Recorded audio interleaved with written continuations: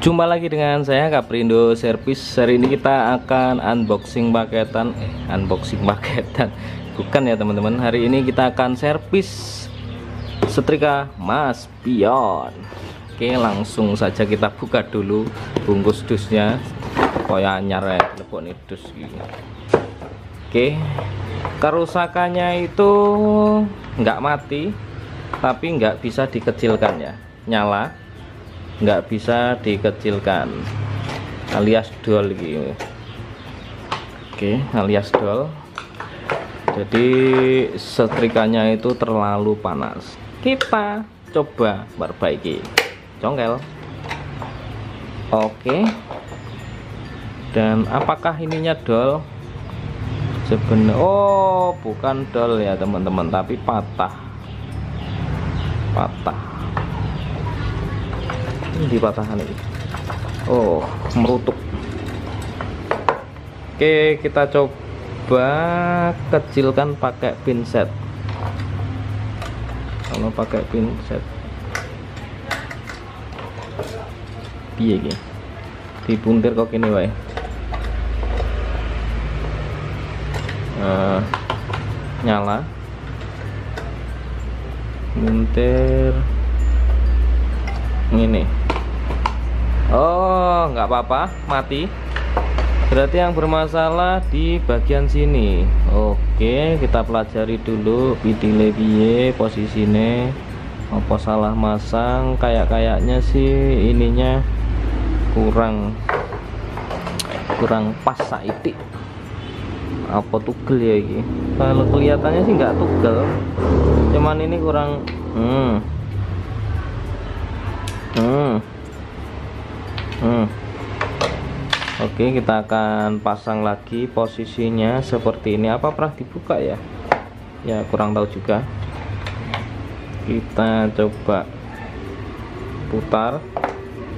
Kita tancapkan.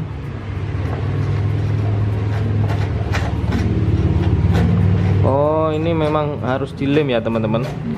Ininya uh, dol. Kita harus lem dulu. Kita carikan lem dulu ya nah ini dia kita sudah siapkan lem deton steelnya. Ini lem plastik lem besi ya bisa pakai lem ini. Uh, di sini saya tidak disponsori dari pihak mana pun ya teman-teman. Mana disponsori karo Philip mana disponsori ambek lem deton yo lagi sponsor ya apa boding oke kita campur lemnya kita tuangkan dan kita campur dulu. Diudek ngogean perbandingannya ya satu tambah satu. Lalu dicampur ya atau diudek rupanya kaya telek lencong ya teman-teman. Tapi ini telek lencongnya mambune kaya ora ora kaya telek pitik ya. kita udak-udak dulu sampai benar-benar apa ya tercampur lah kira-kira wis tercampur dengan kalis. Pokoknya nggak kuah oke kita aduk-aduk. Kalau dikira sudah kalis yes pokoknya kira-kira wis kalis lah kok dikira gitu ya di template non neng gini oke. Mungkin ini di kayak sing rodok temblok hmm. main kena dicepot lu pokoknya dilem dulu hmm. Hmm. oke sudah kalau sudah temblok kayak gini diposisikan yang pas posisinya gini berarti nancapnya gini hmm.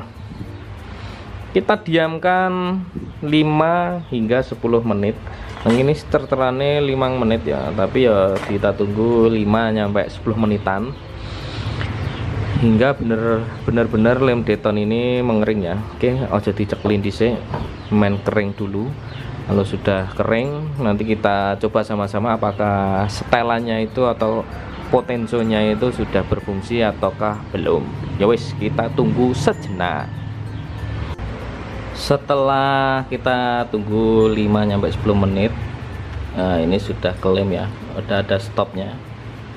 Nah kalau diputar bunyi maklek gitu. Bunyi maklek nah nah itu tandanya udah ya. Kok kenceleng kamera kameraku. Oke kondisinya mati kita putar. Oke nah udah nyala kita putar lagi. Mati. Nyala. Jadi kerusakan kali ini disebabkan oleh si plastiknya ini dol ya. Mungkin muternya wongnya ke banteran atau pi aku yang nggak tahu. Yang jelas ini sudah selesai dan siap dikirim balik. Semoga bermanfaat. Jangan lupa di like subscribe share ke teman-teman kalian. Dan wassalam. Bye bye